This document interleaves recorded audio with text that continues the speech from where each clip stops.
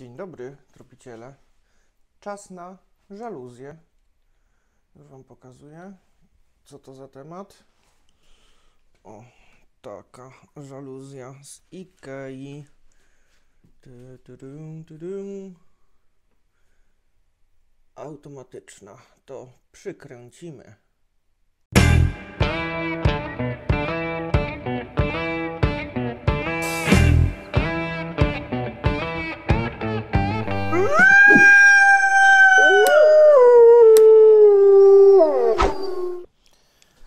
Najpierw to sobie w ogóle to zunboxujemy delikatnie, żeby tutaj nic nie zmądziolić. Pewno gdzieś tu trzeba otworzyć któryś tył i wysunąć cały ten device. Myślę, że z tamtej strony z tymi wszystkimi przypadłościami. Te to generalnie można podpiąć jeszcze sobie będzie, że tak powiem na razie tylko przełącznik a z czasem jeszcze można dokupić bramkę. Miałem ją nawet kupić ostatnio, ale jest to jedyna rzecz z systemu IKEA, którą mam, bo resztę z tak zwanego smart home'u jest porobione na innych urządzeniach, ale w tą IKEA być może kiedyś wejdę. Brat wszedł w tą IKEA i jest zadowolony. Więc, więc pewno też tak kiedyś będzie zrobić, a poza tym dziecku się nic nie stanie. I jak wstanie sobie odsłonić i zasłonić żaluzję. I tu mamy włącznik, wyłącznik na baterię, taką pastylkę. To jest wzmacniacz sygnału. Zasilanie do wzmacniacza. Kabelek. Bateria do samej żaluzji ładowana na mikro USB i dwa uchwyty. Można to mocować albo w futrynie, albo na futrynie. U mnie będzie opcja montażu na futrynie. Aha, i tutaj jest na takim zaczasku, czyli generalnie skończy się na czterech śrubach i to jest po robocie. Także to szybko pójdzie. Dobra, wyciągnę jeszcze sam, samą tą roletę. Oczywiście zabezpieczenie z tamtej strony musiało spaść. A co ciekawe, e, ta jest w ogóle nie przepuszczająca światła, a taka półprzepuszczająca kosztowała więcej. O ironio. A przeważnie to właśnie wszelkie systemy typu blackout to są takie, takie drogaśne.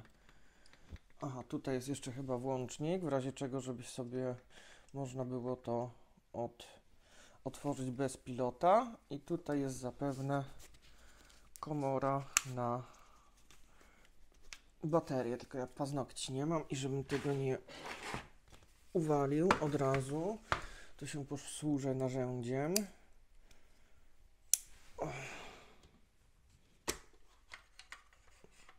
Tak, i tutaj jest box na baterię. Bateria sobie wchodzi tak i tam. Dobra, to nie ma co ściemniać. Od razu baterię pakuję do ładowarki i idziemy kręcić. Można przyjąć, że sobie to e, rozmierzyłem w miarę tak na szybkości, ale jako punkt odniesienia wziąłem sobie tą listwę, a to wcale nie jest powiedziane, że ona będzie w poziomie. Jest, ale jaja.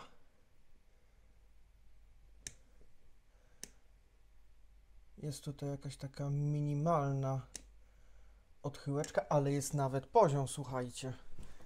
A to nie są takie oczywiste rzeczy. Więc sobie teraz zdejmę te uchwyty. Tam sobie rozrysowałem wstępnie.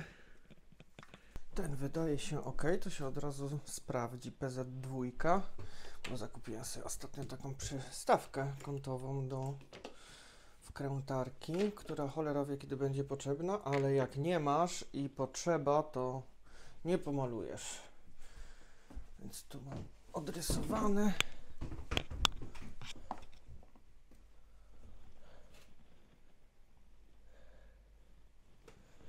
I wiertolimy.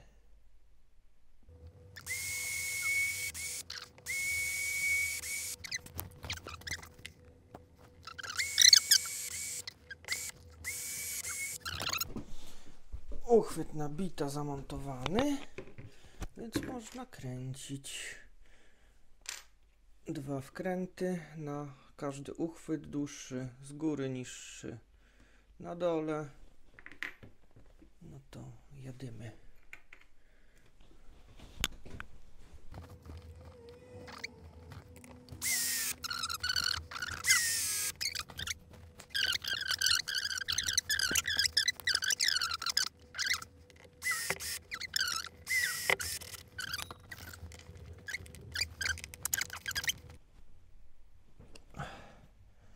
I ten też trzyma. Więc całość teraz operacji będzie się sprowadzać zapewne do tego, że trzeba zdjąć tutaj tą piankę zabezpieczającą.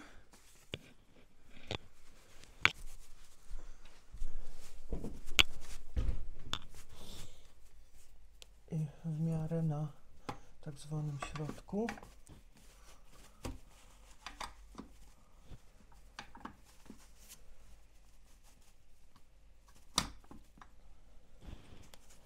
Chociaż ona się powinna później ładnie przesuwać.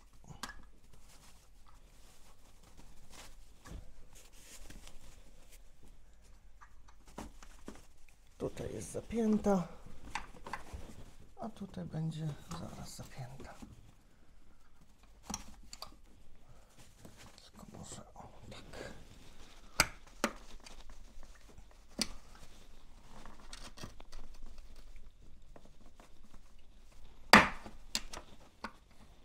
Nic nie urwałem. Nie urwałem. Tutaj jest gdzieś tak. Gdzieś też tak jest w miarę myślę wycyrklowane, ale to można sobie przesuwać swobodnie w prawą i lewą stronę.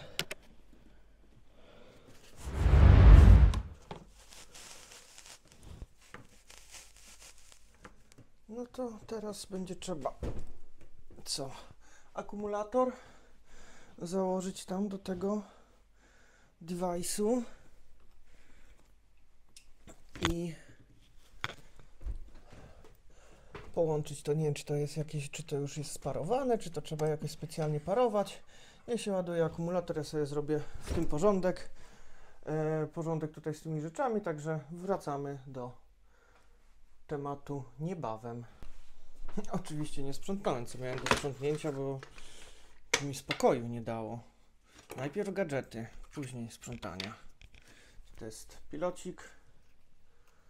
Na magnesie sobie siedzi, więc tutaj gdzieś się go na półkę zainstaluje. Na taśmie klejącej nie trzeba go przykręcać. To sobie go otwieramy od razu. Mały śrubokręt krzyżakowy. I należy mu tutaj zapodać bateryjkę. Bateryjka do niego jest, już Wam mówię, 20-32 minusem w dół.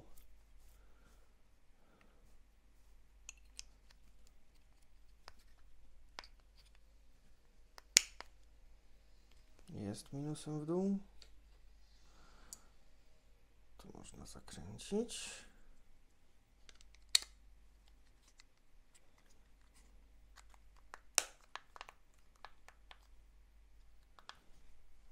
Okej.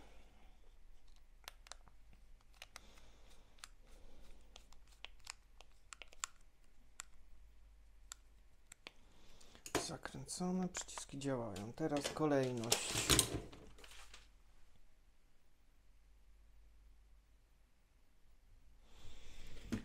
W pierwszej kolejności należy zainstalować baterię. A tutaj są dwa ogniwa, pewno 18650. Tak to przynajmniej wygląda. Pinami w dół.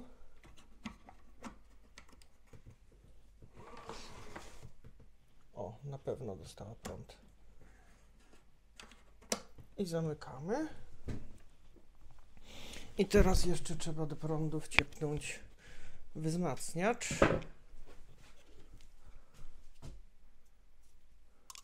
Też w sumie ciekawy patent. Mamy tu jakiś prąd? Mamy. A i cwany, ten wzmacniacz ma też opcję podaj dalej, żeby można było sobie coś ładować albo naładować roletę. No to zaczekamy chwilę.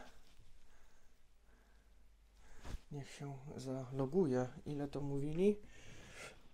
Dwie minuty.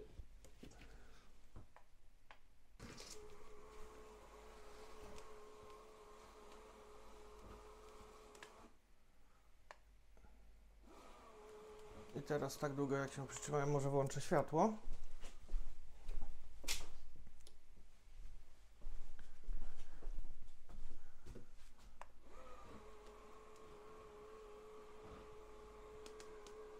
Spoko.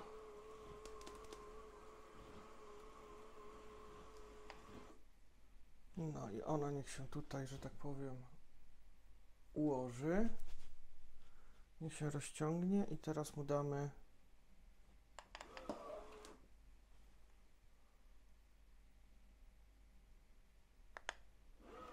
raz naciśnięty pojedzie na samą górę.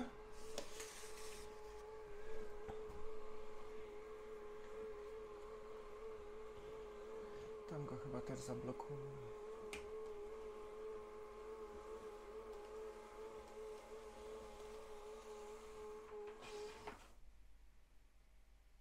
I teraz jak dam na sam dół, ciekawe czy się zatrzyma tam, gdzie miała się zatrzymać.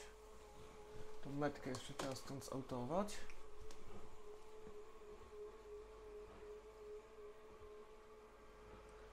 się rozwinie cała.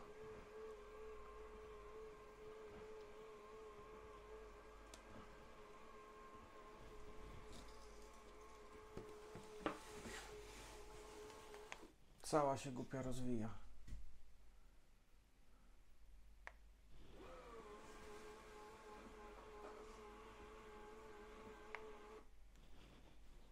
I teraz spróbuję mu wprogramować dolną, czyli dwa razy.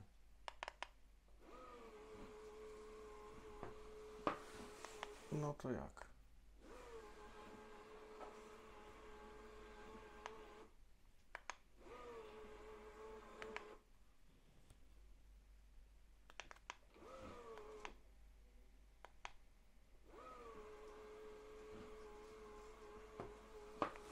Ale nie czai bazy, słuchajcie.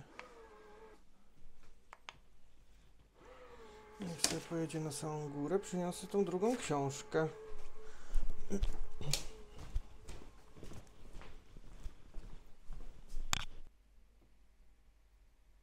Ustawienie maksymalnego poziomu opuszczenia. Przesuń roletę do zdalnego położenia za pomocą urządzenia do zdalnego sterowania roletami lub przycisków rolety. Gdy roleta znajdzie się w żądanym położeniu, dwukrotnie naciśnij przycisk podnoszenia lub opuszczania, aby zapisać nowy maksymalny poziom.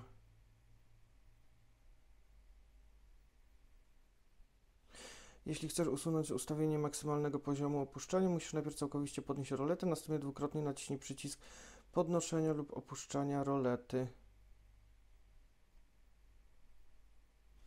Parowanie, że tak powiem, dalszych tych nas nie interesuje. No ale to jedźmy w dół.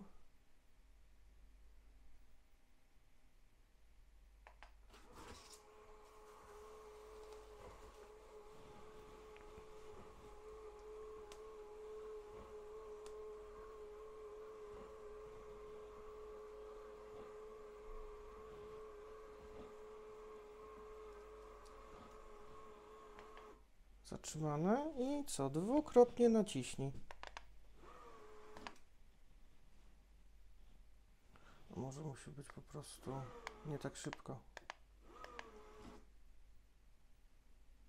Może tak? Pojedziemy do góry. No, się akumulator tu od razu przytrenuje troszkę.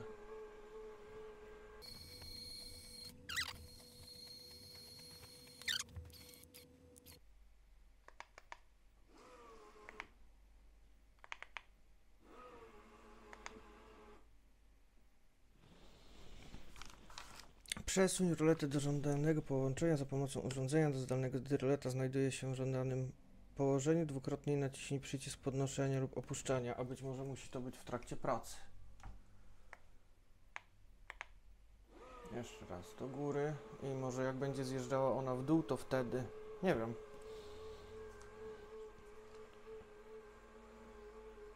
Ale tak też może być.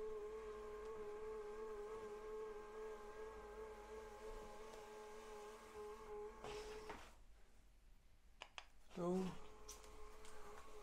I zobaczymy, czy ona musi być w trakcie pracy, czy nie. Ona się tu troszkę musi wyprostować.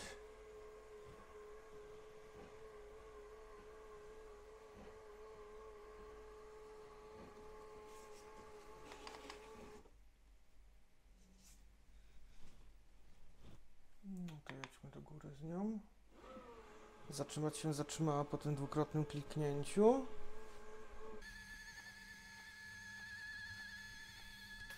No i w dół. Ciekawe, czy się zatrzyma. No bo chyba jest, albo się okaże, że tu coś jest zmaszczone, albo jestem za dureń. I nie ogarniam parowania i ustawiania urządzeń, bo tak może być to przecież.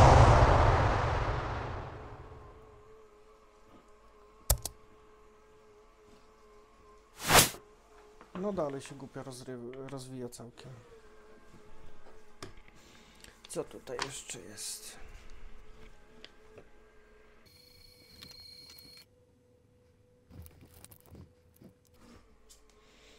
Gdy roleta znajduje się w żądanym położeniu, dwukrotnie naciśnij przycisk podnoszenia lub opuszczania.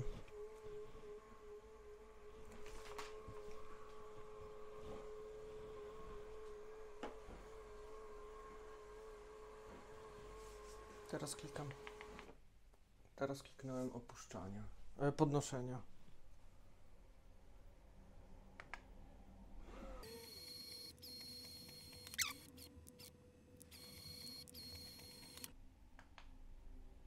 Nie, to po prostu nie działa, słuchajcie. Ale numer. Korzystanie z rolet za pomocą e, opuszczenia rolety za pomocą stery. Jednokrotnie naciśnąć przycisk do zdalnego sterowania, podnoszenie jednokrotnie. Przesuń roletę do, żąde, do, do żądanego położenia za pomocą urządzenia do zdalnego sterowania roletami lub przycisków rolety. Gdy roleta znajduje się w żądanym położeniu, a może zrobimy to po prostu z rolety.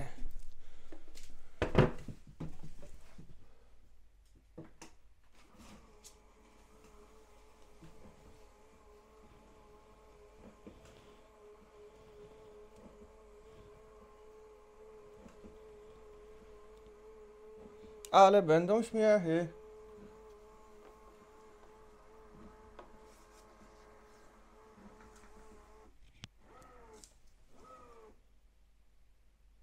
Ha. I wydaje się, że tutaj załapało. Bo zrobił brzyd, brzyd. Ciekawe.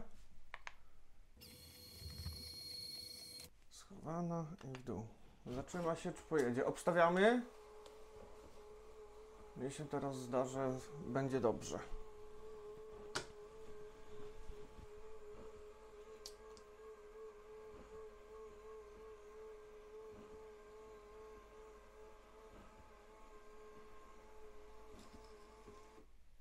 Tak jest. Zatrzymała się.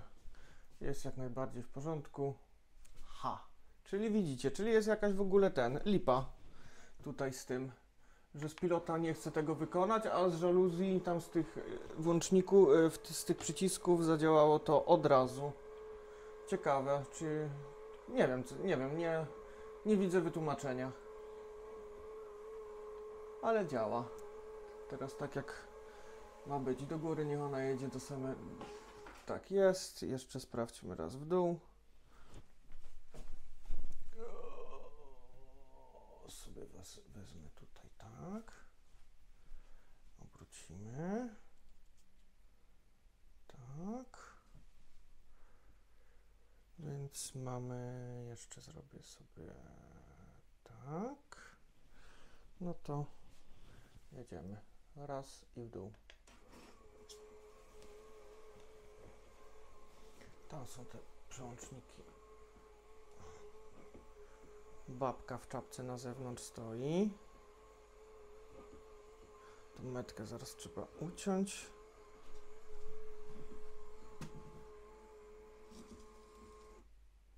Jest ok.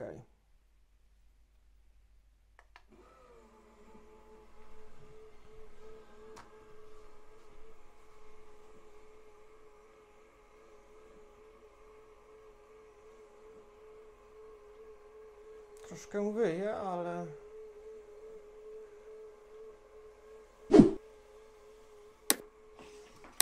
No to.